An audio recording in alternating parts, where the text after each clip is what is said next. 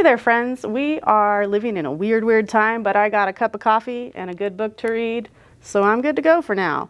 Um, this book that I want to recommend to you is called Dragon Pearl by Yoon Ha Lee.